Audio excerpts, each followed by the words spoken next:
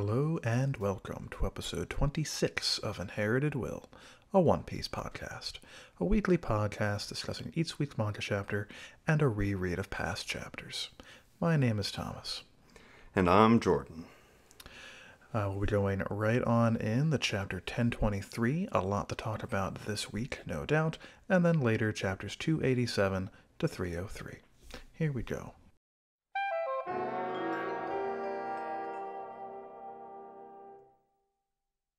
Ten twenty three spitting image. We've got plenty of birds here on the front page. You know, some nice flowers. Karoo down there, real grumpy. I don't blame them. Vivi giving attention to other birds would make me mad too. Poor guy. Yeah, he's got it real rough. Vivi seems fine. She's having the time of her life. Indeed. Sorry, Karoo, you have been replaced. Um, but that lets us pop right on in to the main chapter, picking up right where we left off, right after Sanji and Zoro have given our boys, King and Queen, a right boppin', knocked them on their respective butts. Feels good. Yeah, not for them, but you know. Well, we find out later that they're totally fine and literally didn't feel it, but That's true. But I mean, it must be embarrassing to be on your back at least. As far as uh, Katakuri's opinion is concerned, that's correct. How embarrassing for these two. Chopper here seems surprised that it actually did heal Zoro. I'd be pretty shocked as well if I were a man of medicine that this miracle potion actually exists. Miyagi down there reiterates that there are going to be problems later, so let's keep that in mind moving forward, I guess. I had no trouble remembering it, but thanks, Miyagi. Indeed. Somebody up there, some random gifter or something, taking aim at Zoro, is sliced up by Kawamatsu, a lad I forgot existed. There he is. He hasn't done much, and apparently the rule is continue to not do much. Indeed. Haven't seen Kawamatsu nor Izo ever since Sanji split up from them when he burst into the scene to give Queen that like rotisserie kick like a bazillion chapters ago it feels like and I guess they've just been kind of fighting randos since then. And they will continue to do so by order of Hyogoro here Gotta keep the grounds clear. pretty much. We check in with Marco again for a hot second, reminiscing about something that Whitebeard told him once. Apparently, before Mary Geoise was atop of the Red Line, there existed a land of gods up there. Sounds neat. Yeah, certainly does. I'm sure it was better than having the celestial dragons up there. Oh, no doubt. It's very strange, Jordan, because I did, as you may recall, I did my reread stuff yesterday, right? Mm-hmm, mm-hmm. And it just seems more and more frequently recently, the events of the current chapter seem to have lined up pretty well with the events of the reread. You know, yeah, I I couldn't agree more. It's very weird, but uh, it's one of those happy accidents. Kind of getting head of myself a tiny bit here, but it does pertain to this whole like Lunarian slash Land of Gods thing that we're talking about right now. But in the flashback in this chunk of chapters with Noland and all that, uh, I'm looking at it. I'm like, hold on a second. These the Shandians already either had wings or wore wing accessories Yep. prior to being blasted into the sky. Isn't that weird? So I did some digging into that.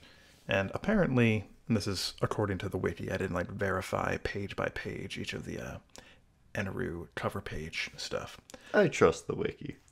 I do to a certain extent, but in either case, according to them, according to Eneru's cover chapters, both, or rather all three, Skypiea, Birka, and Shandia, the people who live there, all descend from the original kingdom of Birka, which is the kingdom on the moon.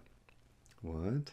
Indeed. Apparently, they ran or were starting to run out of moon resources, and they migrated down and kind of split into three groups, one of which became the modern day Skypieans, one of which became the Birkans, where Eneru and Co. were from, and one went all the way down to Jaya and became the Shandians. Okay. And now we're learning of a, another race of people called the Lunarians, which appear to have originated from a place atop the red line called God's Land. Mm-hmm. That doesn't seem like it's a coincidence, does it? It can't be. And these people also have wings? Yeah. Are you saying that this is a potential fourth break off of the original? Or are you saying like I don't know, maybe the the Giants split further or something like that? Um, my initial thought was that this was a fourth break off of the original, but I don't see any reason why it couldn't just be like, A subsection. yeah, just Yeah. an additional group of them. Um, there's no evidence to indicate either way, We would need more of a timeline, I think. indeed, uh, which we don't currently have. All we have right now is a name of the race and the name of the place they hail from. So, uh, not a whole lot to go off just yet, but that's what I'm sticking to for the moment. The puzzles it's coming together. Indeed. And people say Skypiea doesn't have any meaning.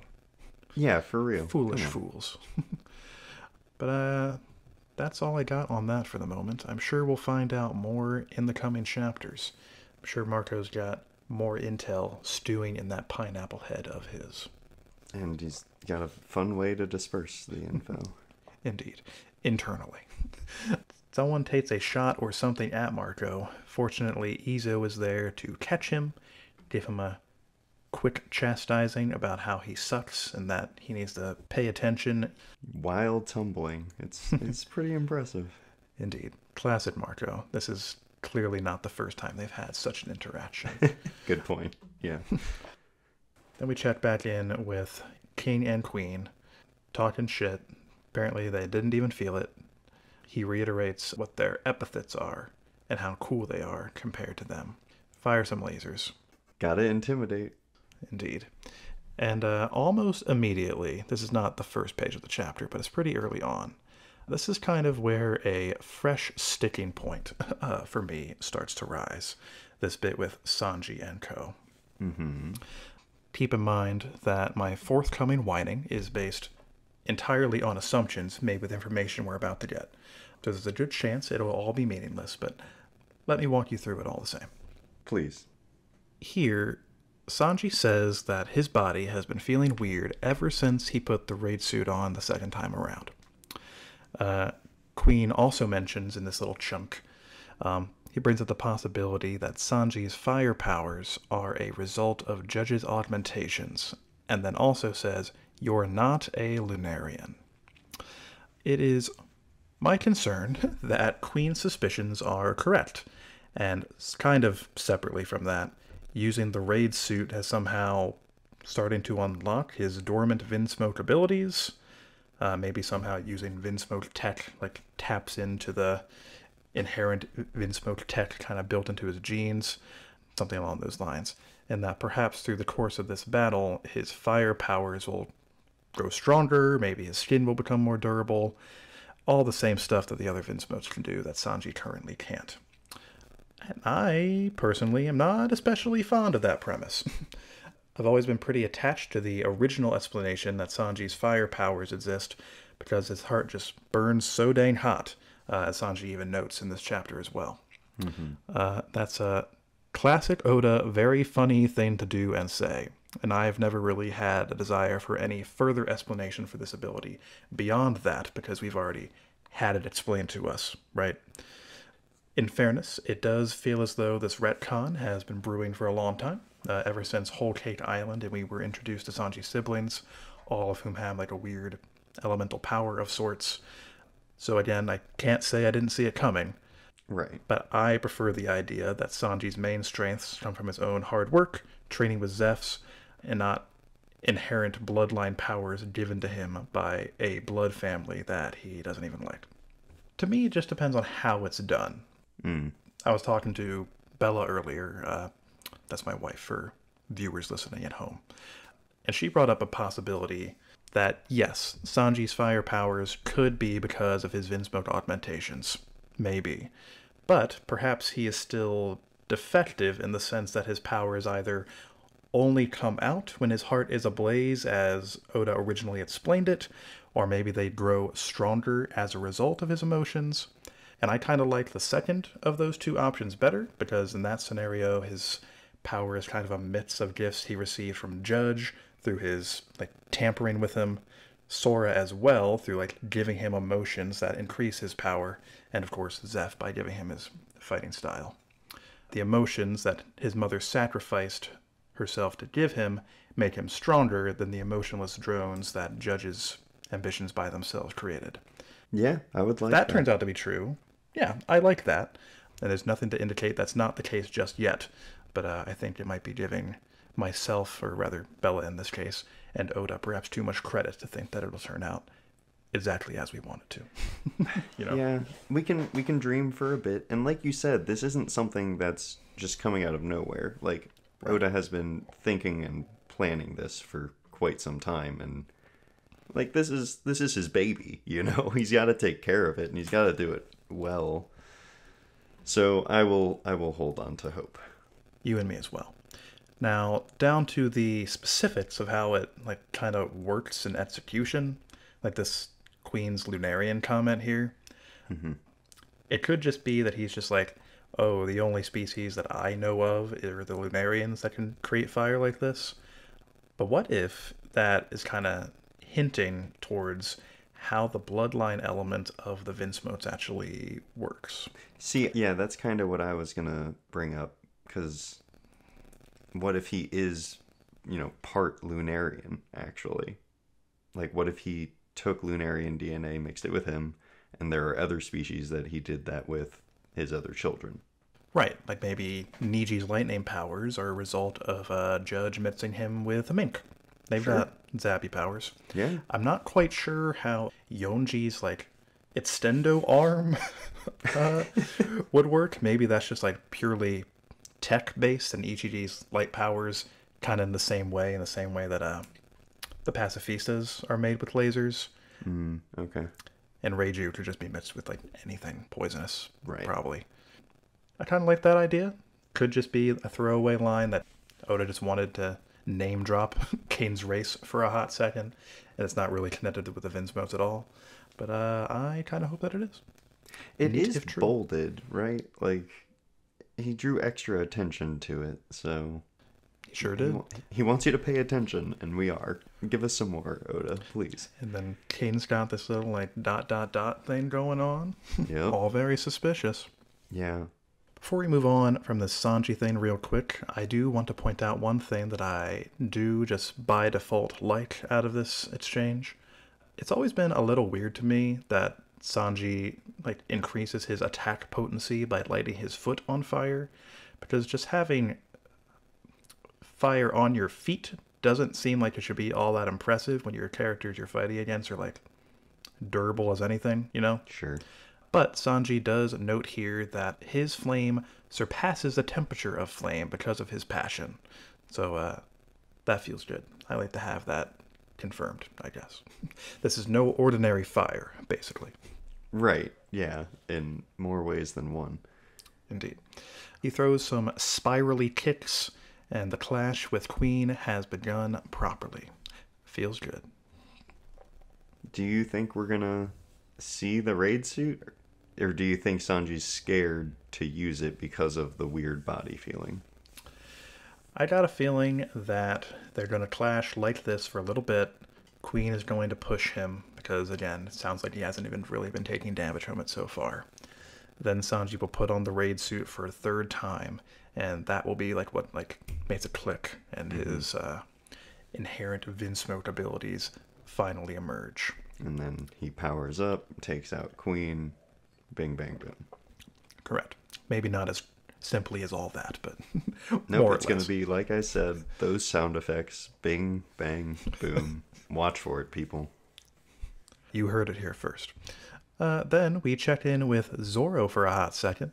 He's clashing with King, who has a weird, like, sword breaker type thing where he catches Zoro's swords in it, disarms him, and punches him in the face with a spiky glove. Zoro does manage to block it, though, so that feels good. Good for you, Zoro. he is using that mouth sword. Proud of him. But the line, I see a killer machine, huh? I don't, I don't know if I like that one, Zoro. Maybe, maybe send that one back to the workshop for a bit. Well, he did just get his sword stolen from him and had to block a last second, probably really fast punch with a sword that he's probably not used to using in this way. So you're saying give him a break? Yeah, and he also just like almost died fighting Kaido like 20 minutes ago. Let's let's cut the man some slack. We don't we don't know the side effects of this drug. Maybe it just makes him worse at banter. That's true. And uh, he does have a sword in his mouth right now, so I think anything coming out of it aside from sword is impressive in its own right. He has a sword in his mouth like 70% of the time. And it's very impressive that he can speak with that stuff in his mouth regardless. Absolutely.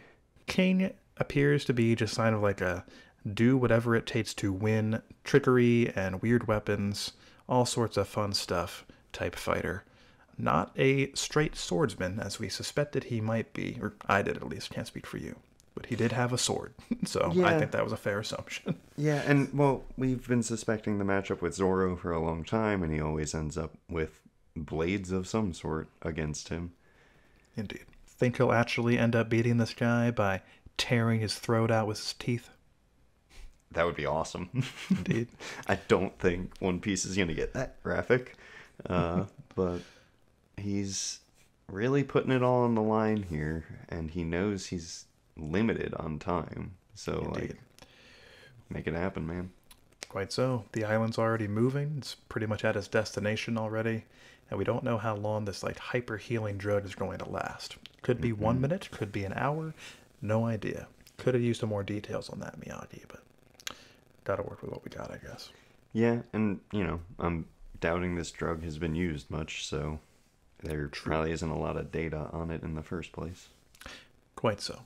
Then we learn a a little bit, just a, a tiny sliver of information about Zoro's lineage, apparently. Yeah, just a just a taste, huh? Yeah, they just kind of sneak that in here.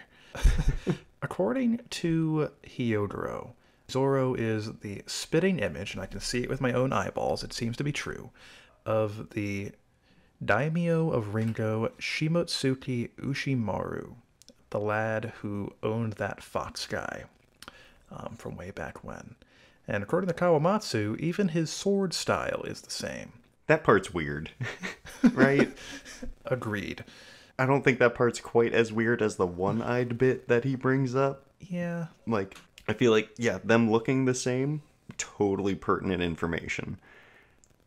It is weird that their sword style is the same, but like, sure, maybe it's another bloodline thing. We don't necessarily know.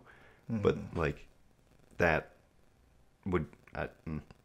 I think the bit with his sword style being the same is like, oh, this is just more proof that they're probably connected in some way. Like, the main thing here is that they look like gosh darn identical. But Zoro like chose his own sword style. He didn't learn it from someone else. Like uh, correct. The basic premise behind the three sword style is that he was getting bopped by Kuina real hardcore with one sword and then two swords. So three's gotta be the way to go. And I guess just by coincidence, Ushimaru here had a similar experience in his youth. I don't know. yeah, I'm sure we'll learn more, but for now this feels weird. Agreed. Uh, and then on top of that, because Ushimaru was a descendant of Ryuma, that also makes it more than likely that Zoro is also a descendant of Ryuma, who apparently only had one eye. Cool, Right. I guess. yeah, like it's a nothing.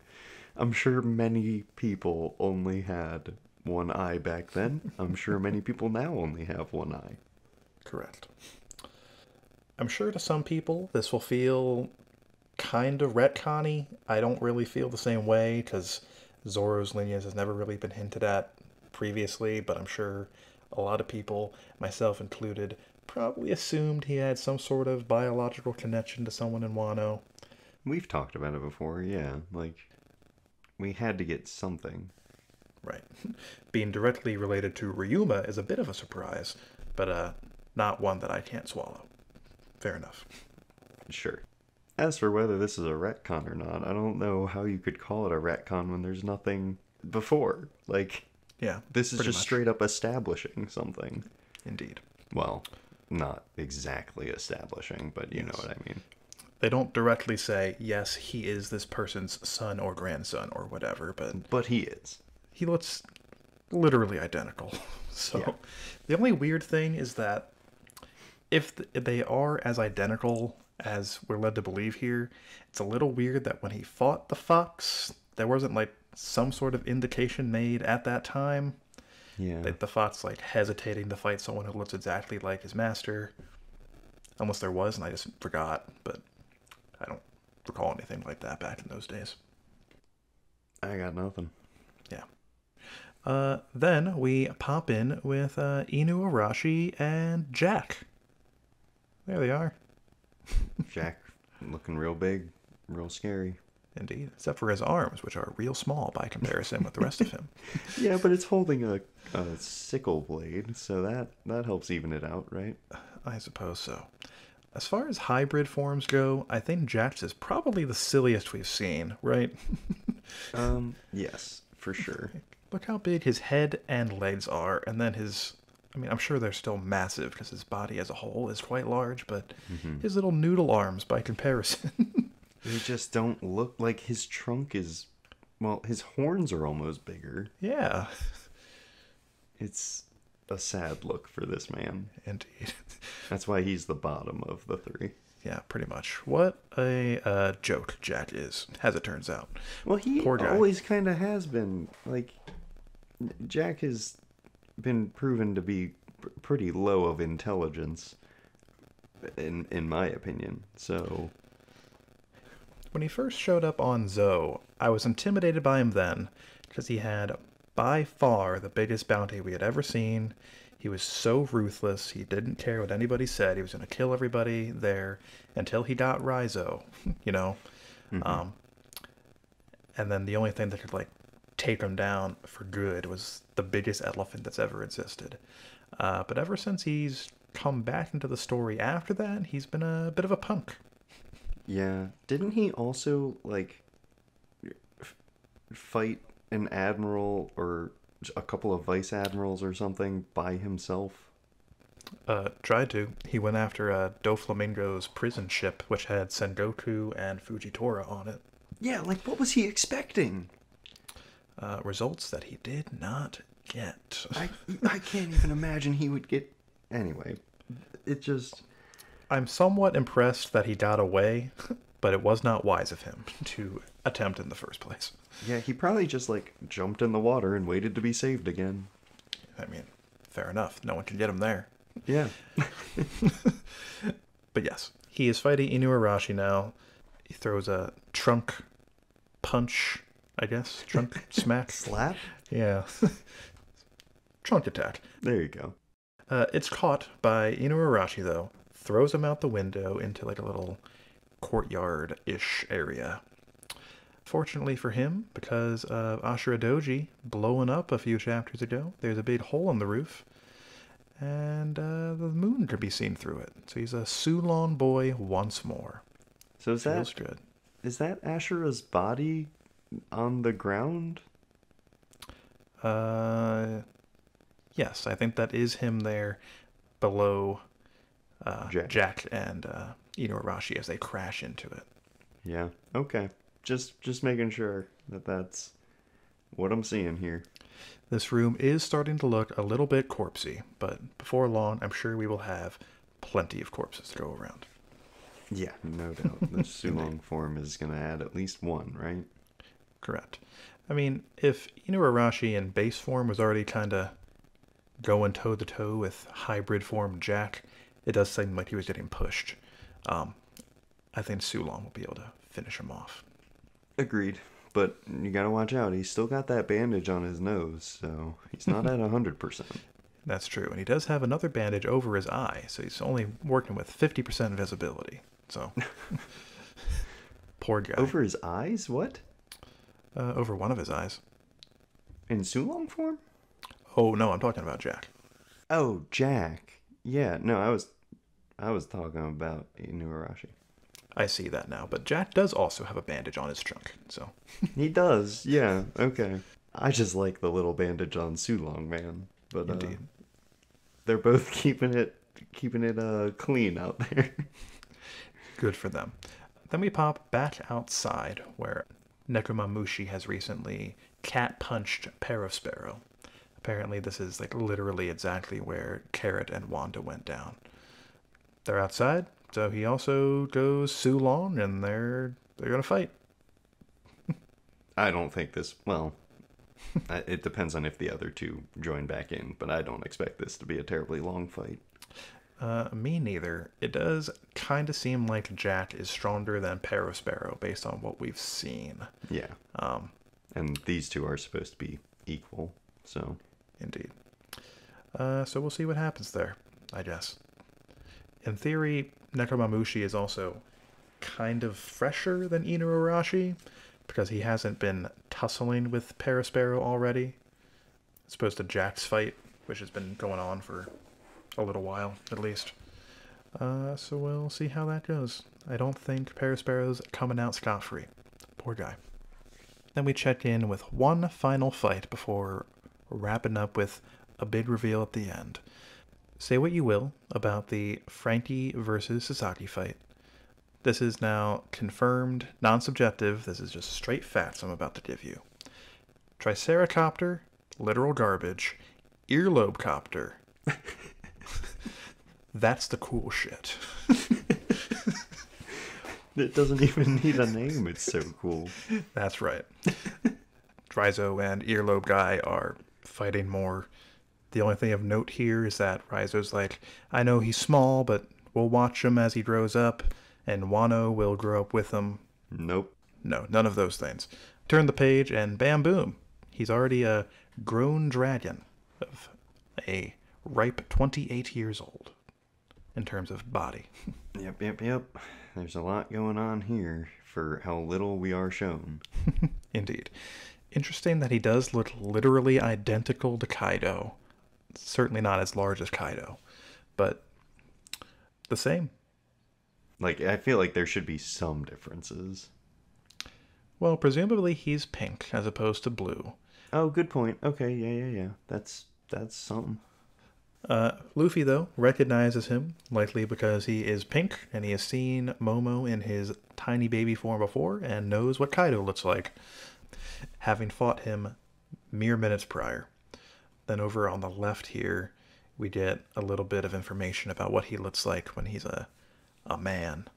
Presumably, he looks just like Oden. Doesn't say it, but I can't think of anyone else that she would be talking about. so that's what I'm going with. But Momonosuke and Luffy vow to take back Wano together. End of chapter. To be continued. Quite so. As is the norm. pretty much. As a whole, I think this chapter was pretty good. I don't have much to complain about aside from that potential Sanji thing pretty early on. And again, that's just based off my assumptions of how Oda's going to handle it. But it certainly was jam packed with info, now wasn't it? Yeah, I'm a little. Well, I'm a little worried that, like, things are going to wrap up almost too quickly for me at this rate. But if he keeps putting in as much, like, actual information as he did this chapter, then I guess that would actually that would work. Uh, I guess so. I mean, I'm reasonably convinced that we're not going to see Luffy and Momonosuke again for a few more chapters. Um, probably not until we wrap up the rest of those fights. All of which I think we saw in this, aside from Apu and Drake. I think we like touched on all of the remaining fights this chapter. Uh, technically, there is Kaido and Yamato. Oh, that's also true. I would guess that we also won't see that outcome until uh, Momo and Luffy arrive up there. Yeah, I would love to see just a snippet of that, though. Indeed. It was teased, and then we've had nothing. Correct. We've just seen like two small snippets of it at the end of a couple chapters, which is not enough for me, but I'm sure it'll be fleshed out one day. Yeah, I think that's all I have to say on 1023. Pretty good stuff. Indeed. That takes us into the reread, covering the rest of Skypiea 287 through 303. Take it away.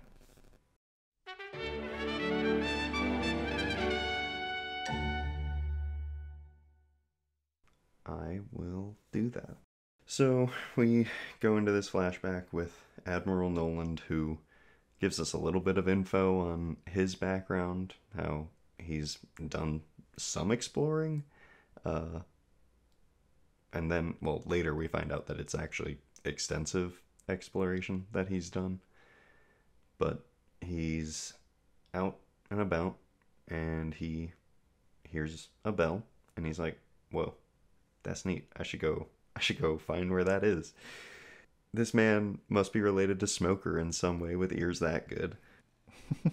That's confirmed right now. But they make their way there due to, you know, the the basically the island actually reaching out to them and guiding them there. And then things get kind of wonky. They sure do. The first thing this man does is kill these people's god. Uh, yeah, he sure does. Sacrifices no good, according to Noland. I get it. It's bad, but that I don't oof. It's dangerous territory, man. But apparently he does this all the time. Notable God Slayer Noland. Badass title, not very uh culturally sensitive, this man. yeah, But exactly. but you know, they were literally about to kill this lady for no reason, basically. Yes, Because we find out that the god, like in this context, that it was just a snake. Yeah, for sure. He ends up being right on all accounts, which is great. But his introduction is just like, whoa, okay. Quite so. so yeah, he just uh, creates a few issues there, but he's got confidence and uh, apparently a lot of staying power because he is stabbed through the chest and then just totally fine after that. And shortly thereafter, he spends like a day and a half crushed between two sizable chunks of land and is fine after some bandages. Yep. Tanky man, this Noland. Terrifying to imagine. Well deserved of the Tantata's respect. Yeah, and mine. But like this flashback is just it's really long and I feel like it just introduces a lot of conflict that could have been avoided with better communication. Like the the two big issues that I saw between these two groups were the tree fever, which if Nolan would have just been like from from the get-go like I can do this. It's I'm to have to go get a plant and then it'll be you'll be fine. And then they were like, "Hey, there's these special plants. Don't touch them." and then he was like, "Oh, hey, I saw those. They're actually the source of the problem." It all would have been fine. But instead this man just tries to needlessly help and again, yes, it does end up all being okay. It's all great. But man, does he make a lot of jumps. Just no second guessing himself or anything like that. No checking in with people. Just, I know what's best and I'm going to do it, whether that's cool with you or not. Yeah, that's definitely a flaw Noland has. Uh, he's a bit of a know it all. He assumes he knows best. And again, in this case, he, he's technically correct, I guess. Yeah, like he helps a lot of people for sure. But, like, if ugh, he could have done it better, that's all. These were his friends, and he still, like, didn't bring them in on the process. That just feels weird. True, Shandian's clearly very intelligent people. Um, but maybe he assumed they like wouldn't really understand like the ins and out of the scientific process that he would have to describe to them. An incorrect assumption, because that one doctor guy explains it to him just fine, and they forgive him. Yeah, one explanation and they're good. They Yeah. also could have just, like, taken one of the Shandians as, like, a guide, and that would have been fine. Like, they would have, it would have been okay. True. Yeah. But like Shame again, on you, Nolan. yeah, this is this is a story, and we need conflict for it to be interesting. But like, it was a long flashback that just kind of felt like it was reiterating a few things like over and over. I also felt kind of the same way later in this chunk, but I'll get to that. Noland goes back, tells the king about El Dorado, the worst king in the world, by the way. And he's just like, great, cool, take me, I want that gold. And when they go back, uh, it's gone. And the man is sentenced to death for being dishonest. Which at first I was like, that feels extreme. But then I thought about it, and that definitely happened in real life. So Sure. that's allowed here. And in this particular case, this supposed lie did mean that he dragged the king and his soldiers into the most dangerous place in the planet, the Grand Line. I, I know what you're saying, but they actually forced themselves there. Like, he even commented that the main problem was that the crew was hastily trained. True. Yes. So like they But- they chose that fate and again, it's a shitty king who's gonna make sure he comes out on top no matter what. Like Certainly. Not to defend that particular king, but he did only go there trusting the word of Noland. for sure, for sure, with the worst of intentions, but yeah. Indeed. That's the main takeaway here. Uh, that king sucks. Noland didn't lie. The dude yeah, he was awful. And Oda made sure we knew it just from looking at him. So good job. They like fabricated evidence during that trial too. Just Yeah, which is really weird. And then like they didn't even think to round up the rest of the actual crew. indeed. Ding dongs all around. Mm-mm. Young folk these days, 400 Yeah. years ago.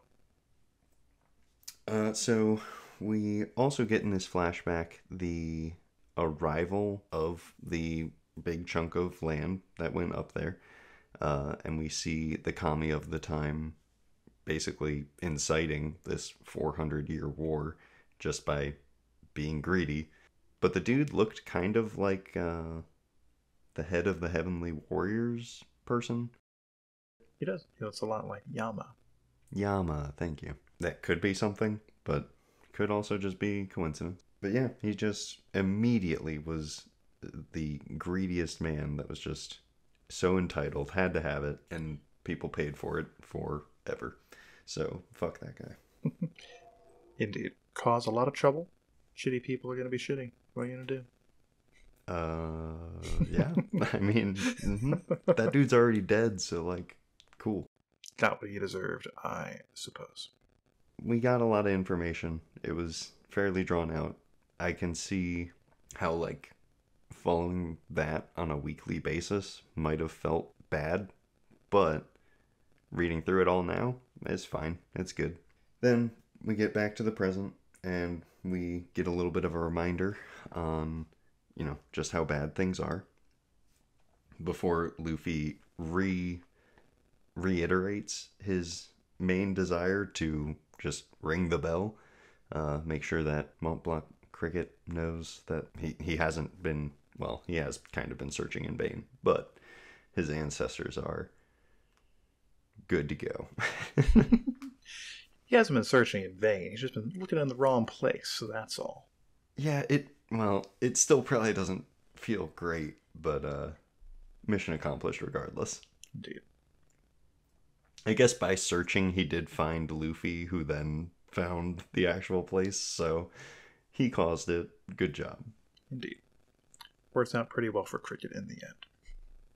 No doubt. So this is this is what I alluded to earlier with just the the problem of repetition here. Like Luffy just tries to run up to the ark a couple of times and he just gets zapped down and it's like, yeah, okay. Keep keep trying, dude. Also, that ark is so far away. Not sure what your plan is here. Thankfully, Nami does help some for sure by adding to the plan to cut down the stalk. I was like, yeah, cool. That's awesome. But then I looked at the drawing more and they were still so far away. So far. I know she said that she hadn't tested max speed on the the Waver or whatever, but man, that gold's gotta be heavy. True. By all accounts, it shouldn't have worked out, but through the magic of manga logic, it does.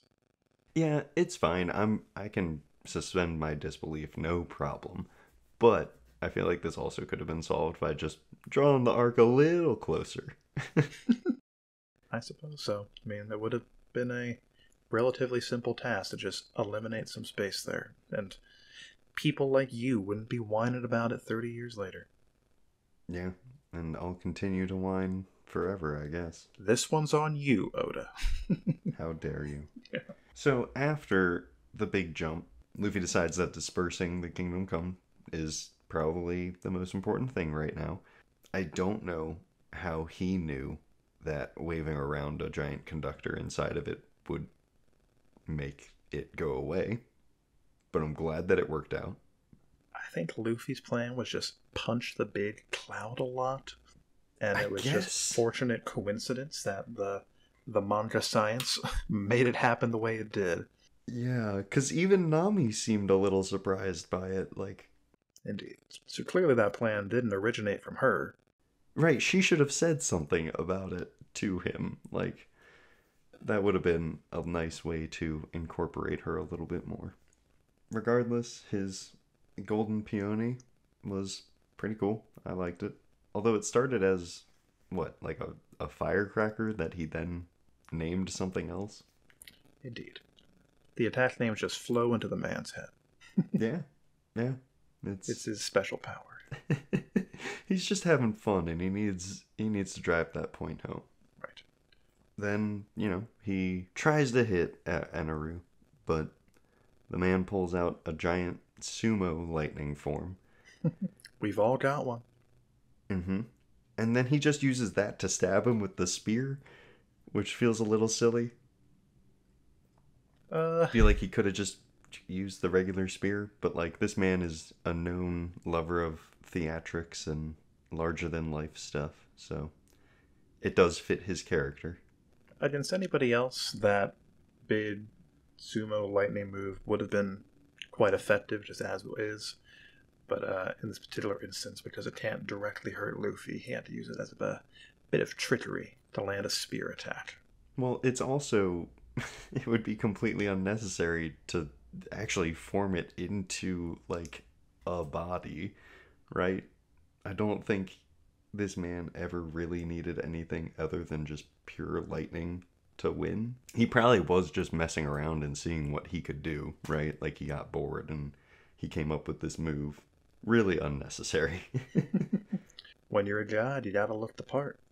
Gotta look Uh, like the until you Buddha. get smacked in the face. Well, who could have seen that coming?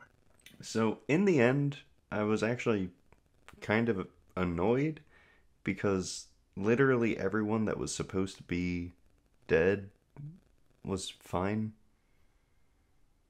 Every single person was fine in the end. Uh, yes, that is a very reasonable complaint. Oda sure does like to not kill people. Well, I guess not every single person. Those like heavenly warriors probably not doing so good. We never saw Yama again. But all of the like main named people are shown like getting up again. And it, it's nice to show the camaraderie there afterwards, but it just makes some of the stakes earlier way lessened. Certainly not Skypiea exclusive. It's kind of just the way Oda operates. Uh, we do get some information on the poneglyphs here. We get uh, we get to see Gol's handiwork, which is a nice little touch. Again, for comments on Luffy having the D initial in his name. Deepen the intrigue. Let's keep it going. Apparently, this this poneglyph has already been accomplished. Like it has it has served its purpose. So they get to just party and have a good time. Yeah, life of uh, the Skypieans slash Shandians going to be pretty chill from now on. They're going to have a booming economy. Dials are going to be, you know, coming up with new technology every day. It's going to be a golden age. They're somehow going to find the way to get that dial technology down to uh, the Blue Sea, where they'll make a a right killing selling them in the same way as CDs. Yeah, yeah, Someone's about to make a, a quick buck up in Skypiea. yeah. I do hope that we get some current information on them soon. Last we heard was Bellamy and Dressrosa cryptically hinting that he had also gone to Skypiea and done, um, done a bad. So, Yeah, not a fan of that, not a fan of him, but will be a fan of what probably happens when we find out more. indeed. But yeah, our crew heads off for their next adventure and they get, well, I mean, they steal a whole bunch of steel, quote unquote, a whole bunch of gold that the they, they didn't even know existed. And they run off. I was left wondering how the octo balloon gets back to Skypiea. Uh, it does not. it it's stuck down there for all of time. That is that is just the adult stage of the octo balloon. You must jettison yourself out of the cloud, never to be seen again. It's a rite of passage. What a life, man. I mean, maybe he'll be blasted back up into the sky by the knockup stream one day, but odds are that'll kill him. So, Yeah, exactly. Like, and so the cycle continues anew. but like, yeah. There we go. I believe they call that the circle of life. Absolutely, yeah. We're scientists. We know things. But yeah, the arc is closed. Skype is done. Overall, it is. It's long, right? Like, Skypiea has a lot of, a lot of reading, a lot of both backstory for the inhabitants and kind of for the story as a whole. It's turning out. 20 years later, but yes. Yeah. Uh, but a lot of good fights in it. Some weird ones, but we like the weird ones. Uh, except for Hattori and Satori, uh, not the best. But uh, I don't, I don't know where it's gonna sit on my rankings by the end of this. I have a feeling it might drop down a few. Was it in your top three when you did your original ranking? I don't remember, man. But Me neither. I always speak, well, I don't know about always, but I usually speak pretty highly of Skypiea, and I still will, but we'll see once everything else is a little bit fresher. I don't know, because I've been looking forward to, uh, like, Thriller Bark and Enies Lobby a whole bunch, but And Long Ring Long Land. Indeed. yes, how could I forget?